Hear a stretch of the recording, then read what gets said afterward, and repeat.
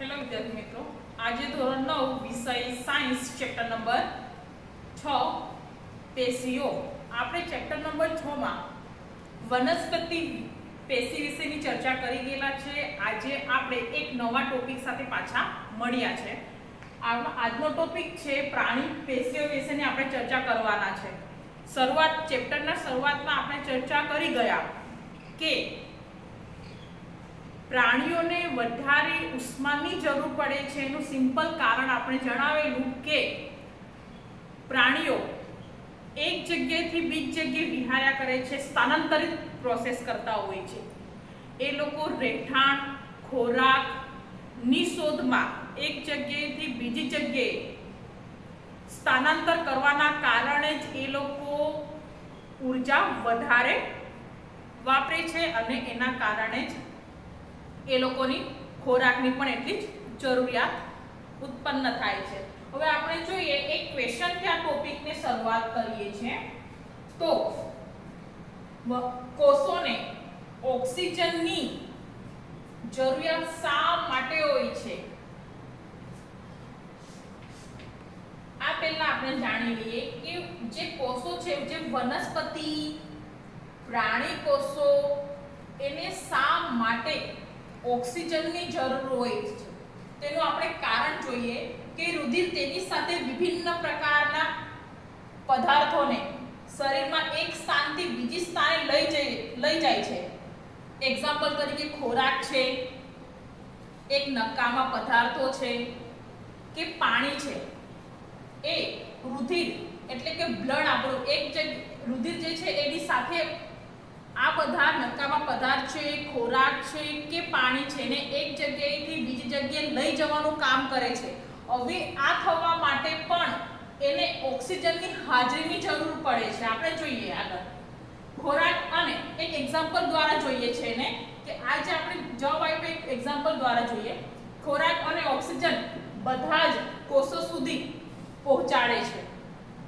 કે જો ખોરાક જો હશે તો એને પાચનની પ્રક્રિયા કરવા માટે પણ ઓક્સિજનની જરૂર પડશે. ઓક્સિજનની હાજરી જરૂર છે. હવે આપણે જોઈએ આગળ. તે શરીરના બધા ભાગોમાં આ નકામા જે પદાર્થો હોય છે, એને એકત્રિત કરે છે. એકત્રિત કર્યા બાદ એને મૂત્રપિંડ સુધી પહોંચાડે છે. મૂત્રપિંડ સુધી પહોંચા, પહોંચાડ્યા બાદ આપણે ઔષધની પ્રક્રિયા કરીને એને શરીરમાંથી નિકાલ કરીએ છીએ. આપણે સૌ જાણીએ છીએ? કે જેટલો પણ આપણા શરીરમાં જે નકામો કચરો આપણે ભેગો કરીએ છીએ, એને આપણે મૂત્રપિંડ સુધી પહોંચાડી દઈએ છીએ. એકત્રિત કરીને મૂત્રપિંડ સુધી પહોંચાડીને આપણે ઉત્સર્જનની પ્રક્રિયા કરીને એને શરીરમાંથી ત્યાગ કરીએ છીએ. હવે આ પ્રોસેસ જે કરીએ છીએ એ કરવા માટે આપણને ઓક્સિજનની હાજરી જરૂરી છે. આગળ જોઈએ આપણે. રુધિર અને સ્નાયુ બંને આપણા શરીરમાં જોવા મળતી પેશીઓના ઉદાહરણો છે. બરાબર છે? આપણે થાય કે શરીરમાં પેશીઓ કઈ કઈ? એક તો રુધિર અને આપણા વિભિન્ન પ્રકારના સ્નાયુઓ. એ બધું આપણે જોઈએ એક્ઝામ્પલમાં અનિચ્છત પેશી, સંયોજન પેશી, સ્નાયુ પેશી, ચેતા પેશી, ચેતાકોષ, આ વિશે આપણે જાણતા હોય છે. એ તમારા છે વનસ, ઓકે, પ્રાણી પેશીના ઉદાહરણો. એમાંથી આપણે આજે પહેલી જોઈએ તો અનિચ્છત પેશી તો આપણે જોઈએ કે પ્રાણીઓના શરીરના બાહ્ય બાહ્ય જે કવચ હોય છે, બાહ્ય કવચનું રક્ષણ આપતી પેશી એટલે જ આપણે શું કહીશું એને?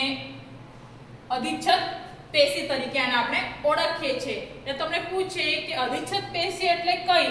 તો પ્રાણીઓના શરીરને ઢાંકતી કે બાહ્ય આવરણ સ્વરૂપે રક્ષણ આપતી પેશી એટલે અધિચ્છદ પેશી. આપણે જોઈએ આગળ.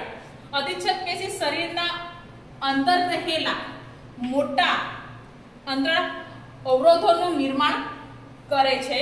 તે ત્વચા મોડાનો આ મોડાની કવચ છે, અન્નનળી રુધિર વાહિનીઓ ફેફસા, વાયુકોષ, મૂત્રપિંડ વગેરેમાં આપણને અધિચ્છદ પેશી જોવા મળે છે. એટલે કે અધિચ્છદ પેશી તમને કે અધિચ્છદ પેશીના ઉદાહરણો જણાવો તો તમારે લખવાની આપણે ત્વચા. મોડું. અન્નનળી. રુધિર વાહિનીઓ ફેફસાના વાયુકોષ.